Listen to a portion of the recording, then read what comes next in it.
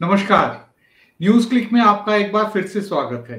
आप देख रहे हैं हमारा बहुत ही खास कार्यक्रम, इतिहास के पन्ने मेरी नज़र से।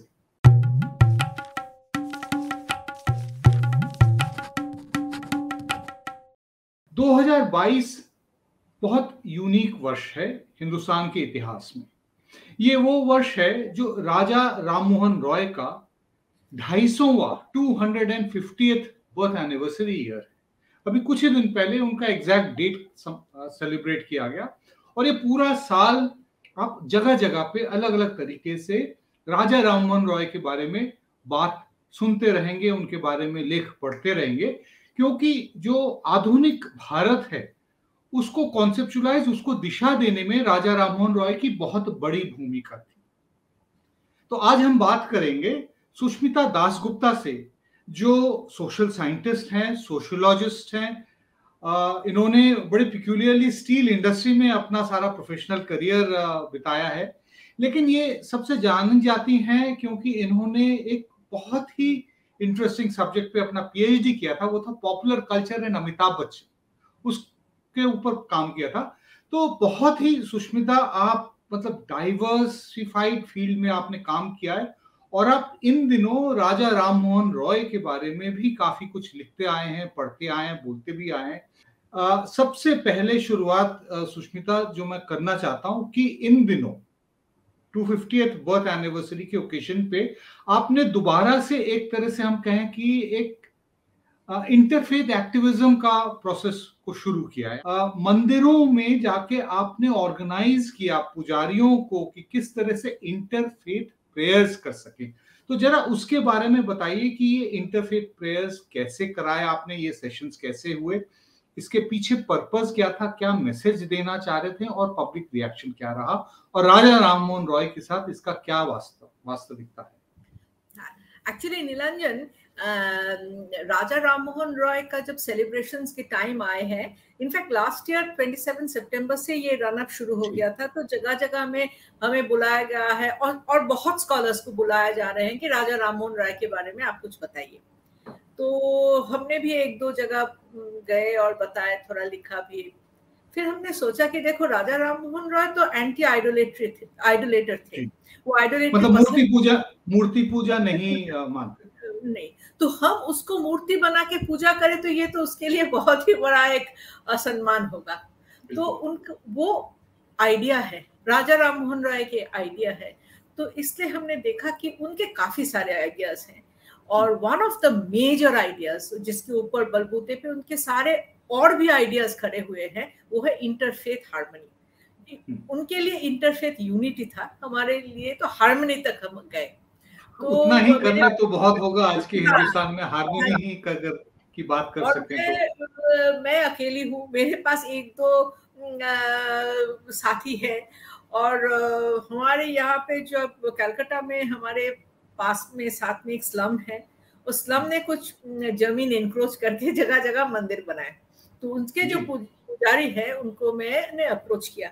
मैंने कहा कि आप मेरे लिए एक काम कर सकते हैं आपको पता है राजा राम मोहन रॉय कौन है? तो वेगली वेगली बहुत आइडिया था पर हमने कहा कि आपको एक काम करना पड़ेगा। राजा राम मोहन राय का जो है एकेश्वरवाद और यूनिटी इन ऑल फेथ्स ये आपको थोड़ा करना है। उसने कहा कि हम्म। बिल्कुल हम बहुत वो राज़ी हो गए और बहुत ही खुशी हुए। तो सारे लोग स्लम से मेरे घर आए और हम बैठ बैठ के सारे जो रिलीजियस टेक्स्ट है उनसे वही स्टैंडास निकाले जहाँ पे इंटरफेथ हारमोनी हो सकता है। और ये ये मुश्किल था। हर टेक्स्ट में ये बहुत मुश्किल था। तो उसके बाद इनिशियली हमने अरेबिक, हिब्रू, इसमें सब प्रैक्टिस शुरू किए, पर वो उनके नेचुरली ना तो मेरे टंग में आए, ना तो उनके टंग में तो हमने बंगला में किया, बंगला में ट्रांसलेट किया। और उसके बाद जो हुआ, ये है कि ये जो स्लम है basically slum and they are not expose really पर उनमें जो इलेशन है ना मतलब हम्म। आप उनका चेहरा देखते तो आपको पता चल जाता कि how excited and accelerated they were they did not know they learn of Zendavesta they learn of वेंदियार Quran तो पता है बाइबल भी उसको हम्म। पता है गुरु ग्रंथ साहब जब उसने एक ओंकार सुना और गुरु ग्रंथ में और भी नानक का प्रार्थना सुना और जब बुद्धिज्म धम्म पद से उसने श्लोक सुना गायत्री का मंत्र समझ में आ गया तो there was an election just at the knowledge just at the knowledge. और उसके बाद एक दो इक्का दुक्का करके हमें और भी मंदिर यहाँ से पेज कर रहे हैं कि हर जब होता है ना कि घाट जो मंगल घाट जब स्थापना करेंगे जी, उससे जी. पहले इंटरफेथ प्रेयर यहाँ पे ज़रूर होगा। मुझे मुझे यकीन है कि जब आपके इनिशिएटिव के बारे में लोग जानेंगे हम्म। समाचार पत्रों में कुछ छपा जाएगा हमारे जैसे कार्यक्रमों में इसके बारे में चर्चा होगी और लोग सुनेंगे तो रेप्लिकेट करेंगे। ना सिर्फ़ बंगाल के अलग अलग जगहों में लेकिन पूरे देश में अलग अलग जगहों पे क्योंकि राजा राममोहन रॉय सिर्फ़ बंगाल के नहीं थे। बंगाल में पैदा ज़रूर हुए रहे वहाँ पे लेकिन ऐसा नहीं कि मतलब सिर्फ़ बंगालियों के ही राजा राममोहन रॉय थे। एक तरह से पूरे इंडियन रेनेसा के के हम लोग बोलते हैं कैटलाइजिंग एजेंट के तौर पे हम उनको मान सकते हैं। मैं पढ़ रहा था आपके कुछ लेख भी पढ़ रहा था। आपने जो एक चीज़ बोली बोला था मुझे बहुत मार्मिक लगा। कि आपने कहा कि Ram Mohan Roy must be resurrected today and it is due to the polarisation which is happening in Indian society तो पोलराइजेशन के बारे में तो सबको पता है क्या हो रहा है। पिछले 40 साल से हमारे आँखों के सामने मतलब अयोध्या आज वाराणसी मथुरा कुतुब मीनार ताजमहल ये तो लगातार मतलब रामायण वही कभी ना खत्म होने वाली चले जा रही है।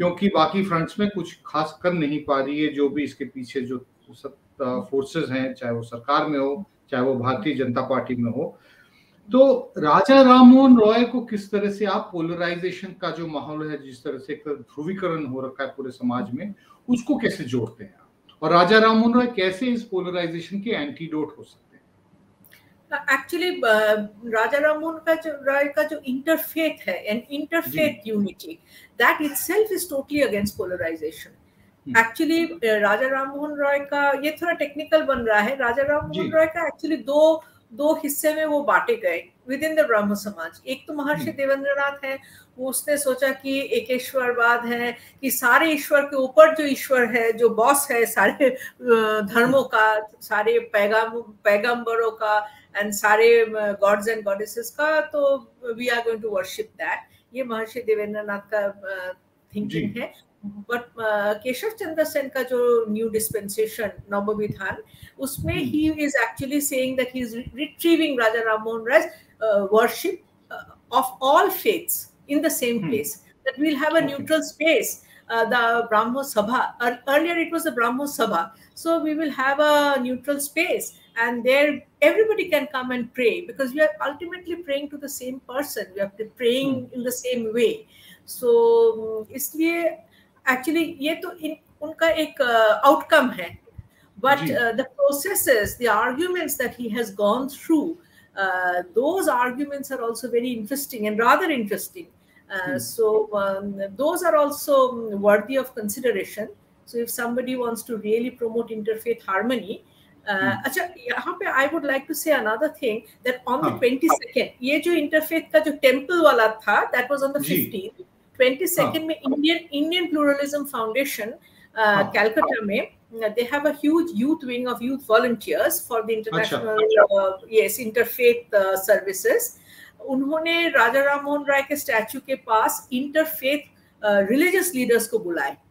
ऑल रिलीजियस लीडर्स के दे ऑल्सो के they perform the skit each one was reading a prayer again from another faith you know whatever yes दूसरे किसी दूसरे किसी पंथ के हाँ जी and and religious leaders were also there they also prayed other prayers they prayed together mm-hmm. you know and uh, हाँ जी और press club में एक मीटिंग हुआ उसका वीडियो प्रेस क्लब हाँ जी हाँ जी और उसका वीडियो अभी तक बना नहीं जहाँ पे यूथ कुछ क्वेश्चंस पूछा रिलीजियस लीडर्स को noted down the questions.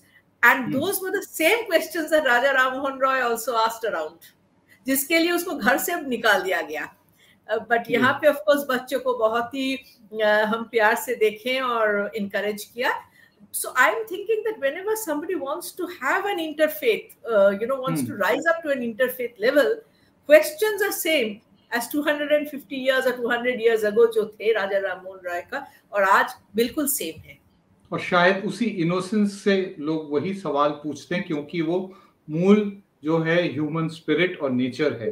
तो ये लड़ाई झगड़ा जो है ये हमारे नेचर का हिस्सा नहीं है। ये पॉलिटिकल इंटरप्ले की वजह से है कि लोग पॉलिटिक्स के में गेंस पाने के लिए धर्म का प्रचार करते हैं। देखिए राजा राममोहन रॉय के बारे में जब भी बात होती है तो लोग सती प्रथा के आगे कुछ नहीं जोड़ पाते कि जी राजा हम्म। राममोहन रॉय कौन थे आप जाके पूछिए।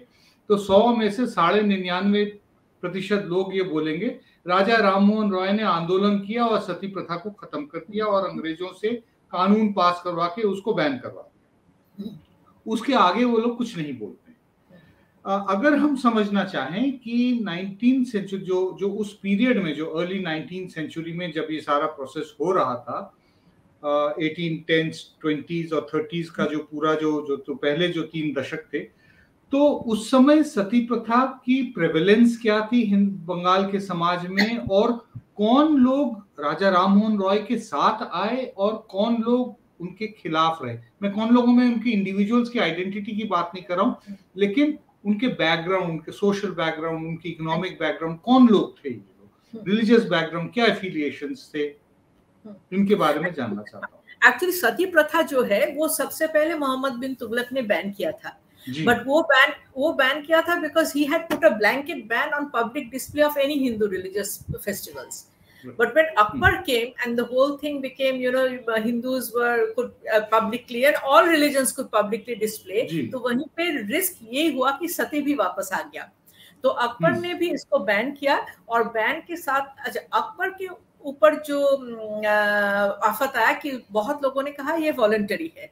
तो वॉलंटरिज्म को खत्म करने के लिए अकबर एक फौजदारी मामला बनाया सती को। So very very complex you had to report to the police and police would go to your house and then question the lady and all these things तो मतलब आज के भाषा में नॉन कॉग्निजेबल ऑफेंस हाँ जी हाँ जी। हाँ आज तो, के भाषा में कहा जाएगा। तो। हाँ जी तो एक दो जगह अकबर के टाइम में भी फोर्स अप्लाई uh, करने का एविडेंस था तो those people were also hang in one case they were hanged also hang to death Now, uh, in when the British came, the problem hmm. was, you see, uh, uh, with Murshid Quli Khan, Bengal had almost become independent.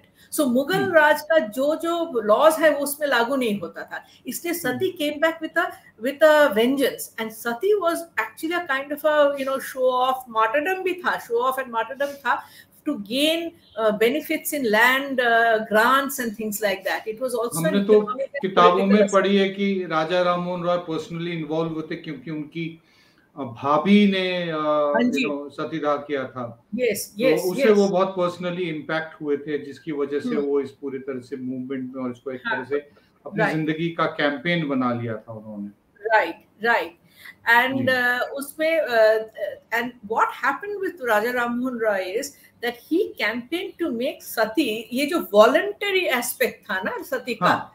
ये उसने खत्म कर दिया उसने okay. कहा कि ये voluntary हो दिस दिस हो ही नहीं सकता है हाँ जी तो this was not only an anti sati you know progress but it was also a very important aspect of modern law जिसके. वजह से दो बहुत बड़ी चीज़ हुई एक है कि Jeremy Bentham from British Parliament started taking mm. a lot of interest not only in Indian affairs but in Raja Ram Rai personally. Mm. Uh, Thomas Macaulay, uh, then uh, Bob uh, Clapham, then Robert Owen, these big parliamentarians. आज हम अगर British parliament हमारे साथ नहीं होते उन जमाने में standing against the East India Company you know mm-hmm. india would not have seen the modernity that we have seen i think that is mm-hmm. that we they need a big thank you उसके बाद राजा राम मोहन रॉय ने जो अपना faith जो भी यूनिटेरियनिज्म था उसमें एक William Adam Shrirampur baptist he was also converted with the anti sati arguments after Raja Ram Mohan Roy death William Adams goes to America America में जाके he uses the same arguments for anti slavery okay this this is a very unique तो तो ये तो clearly स्पष्ट होता है कि राजा राममोहन रॉय के जो हिंदुस्तान में जो एफर्ट्स थे बंगाल में हम्म। सती प्रथा को खत्म हम्म। करने में तो उतना दूर जाके एक तरह से जो एंटी स्लेवरी मूवमेंट अमेरिका में उसका इम्पैक्ट हमको देखने को मिलता है हम्म। हमको एक चीज़ और बड़ी इंटरेस्टिंग यू नो आपके जो अलग अलग पेपर्स में पढ़ रहा था तो आपने कहा कि एक एंटी सती जो आंदोलन चला था जो कैंपेन चला था इसमें हिंदुस्तान में भारत में खासतौर से आइडिया ऑफ़ सिटीजनशिप ये उभर के आया from different from the idea of being a subject किसी किसी किंगडम के सब्जेक्ट होने के साथ के को आगे बढ़ते हुए आ, किसी आ, मुल्क के या किसी राष्ट्र के आप नागरिक बन गए। तो नागरिकता का जो कॉन्सेप्ट है क्या ये उभर के आया था राजा राम मोहन रॉय Yes, के कैंपेन yes. के Of course, of course. हाँ, हाँ yes under of course this this was anti sati campaign was his uh, foundational arguments जी इसमें से ultimately जब when he went to England उसका जो um, uh, on judicial reforms on peasant reforms agrarian reforms a permanent settlement इसमें जो notes है he is using the same argument same argument is this in the sense that you see what happens is that he, he is using a very interesting thing that you know the ruler and the ruled you know hmm, uh, they are under a kind of a contract उनके बीच में contract है। Yes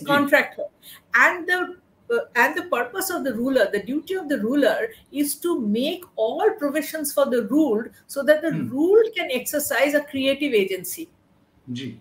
इसी में उसने कहा कि ये सती जो है इसमें वॉलंटियर जो भी जो भी जो भी है it is creating gender divide I think it is the first feminist tract okay you know in india so he's saying that it is creating a kind of a gender divide i mean i am basically ये जो martyr बन रही है जो lady जी this lady is उसको you तो know, चढ़ाया जा रहा है हाँ उसको तो चढ़ाया जा मतलब and she चढ़ाया जा रहा है हाँ, नहीं sometimes she is also jumping on her own volition हाँ मतलब And- चढ़ाया जा रहा है मतलब नॉट फिजिकली मैं कह रहा हूँ that ji. emotionally she is being Right. inspired to become a sati you know it becomes yes an a, a glory to be attained you know कि, Yes. कि कोई चीज़ है जिसको मेरे को मुझे याद है कि 1987 में जब Mhm. राजस्थान में जब एक इंसिडेंट हुआ था उस समय यू नो उस समय मैंने रिपोर्टिंग की थी और मैं वहाँ राजस्थान में उन जिलों में गया था।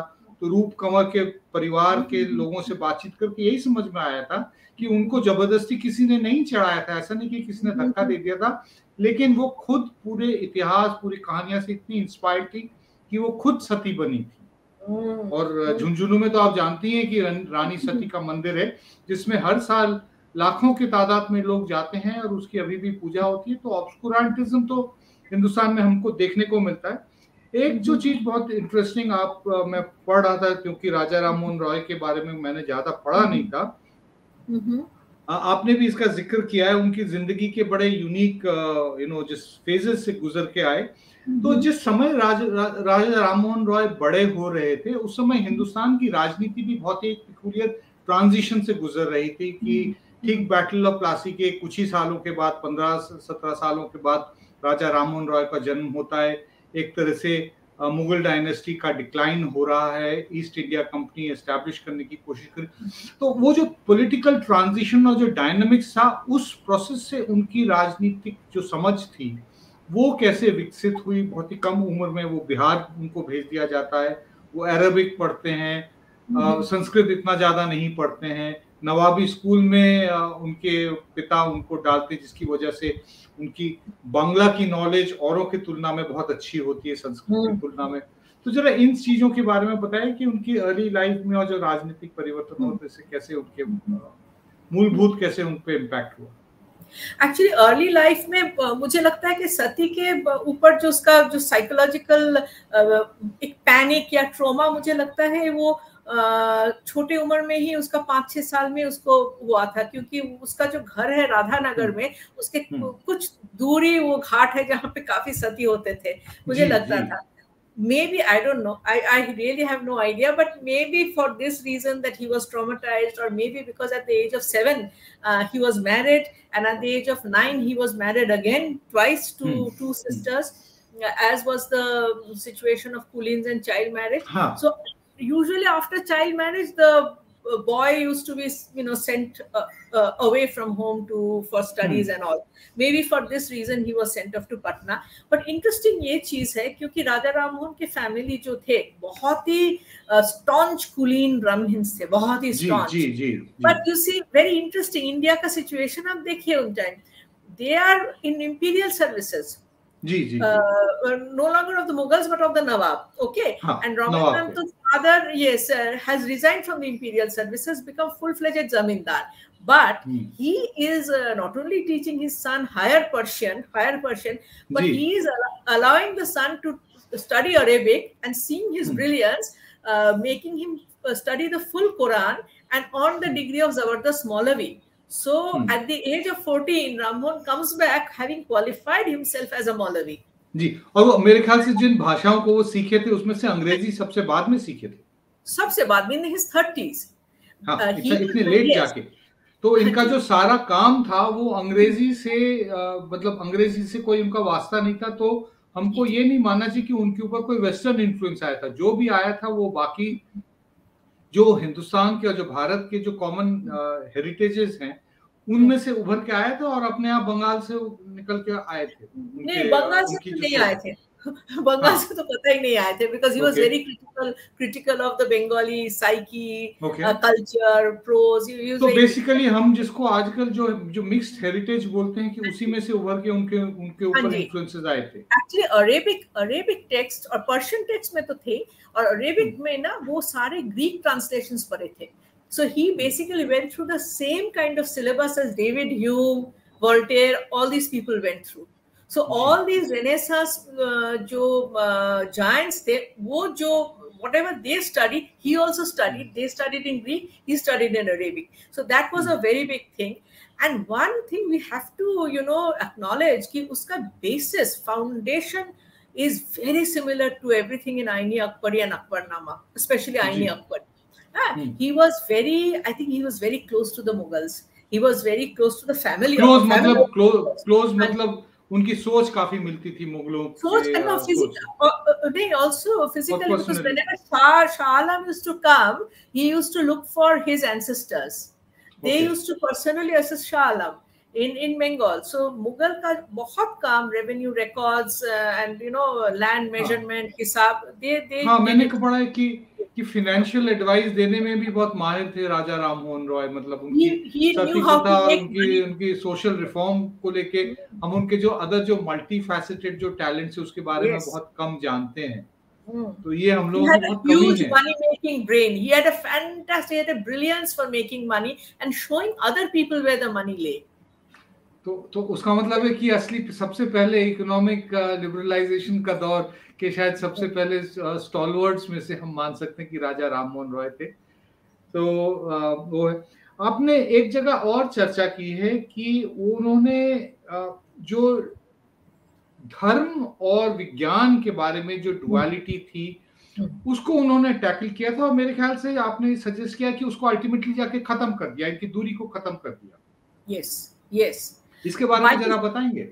हाँ जी ये एक्चुअली उसका जो एक किताब है which he wrote at the age of 16 and जी, he was बताइए हाँ जी तो that is very beautiful that was written in Persian and उसका जो इंट्रोडक्शन था that was in Arabic उसका नाम तुफातुल Muwahhidin and uh, it is said uh, it is a gift to monotheists basically it is a gift to anti-idolaters and idols jo the idols were actually prophets so he hmm. started attacking all the prophets and the gurus and the brahmins अच्छा, एक बात बताइए मैं मैं पहले भी interrupt करना चाह रहा था इस बात पे। एक तरह से वो पूरी तरह से मूर्ति पूजा में था। मूर्ति मतलब ये नहीं कि कहीं पे विष्णु भगवान की मूर्ति रखी है या शिव जी की रखी हुई है ऐसा नहीं। लेकिन आपने बताया कि सारे प्रॉफिट्स को अटैक करते थे।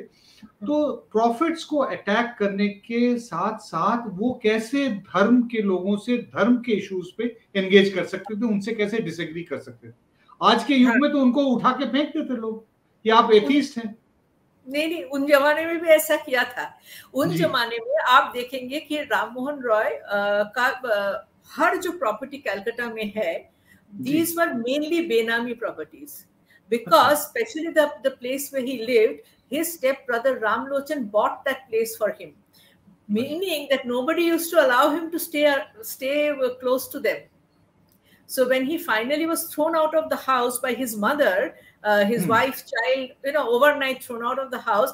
He uh, lived in Raghunathpur on a cremation ground, which means hmm. he was attacked like anything. There was somebody called Ramjoy uh, Botopal, जो hmm. पांच हजार रुपया उन जमाने में पांच हजार रुपया महीना से एक ट्रोल आर्मी बनाया था to attack Raja Ram Mohan Roy so he was attacked he was definitely attacked so troll army तब भी होते थे आज से ढाई सौ साल पहले करीब तब भी होते थे। आ, हम लोगों का कार्यक्रम को हमारी चर्चा को खत्म करते हुए मेरा जो आखिरी सवाल है कि अभी तो two fifty birth anniversary year के सेलिब्रेशन शुरू हुए हैं। आपने कहा था कि पिछले सितंबर से हो रहा है वो उनकी डेथ एनिवर्सरी थी। 1833 में उनकी मृत्यु हुई थी इकसठ साल के वर्ष में आयु में। ये जो साल है, राजा राम मोहन रॉय को कैसे याद किया जाना चाहिए आपके हिसाब से? हमारे समाज, हमारे सरकार, हमारे जो मीडिया और जो पब्लिक डिस्कोर्स है, उसमें हम लोग राजा राम मोहन रॉय को कैसे री इंट्रोड्यूस करें ताकि उनके वैल्यू सिस्टम्स एक तरह से दोबारा, उसी तरह से प्रचलित हो जाए जो उनकी ज़िंदगी में थे? मुझे लगता है निरंजन कि हमें ये सेमिनार पेंटिंग एग्जीबिशन ये सब करने की कोई ज़रूरत नहीं है। We should actually start spreading his values वो what did he stand for we may like to read his books we might like to you know preach his values whatever he stood for.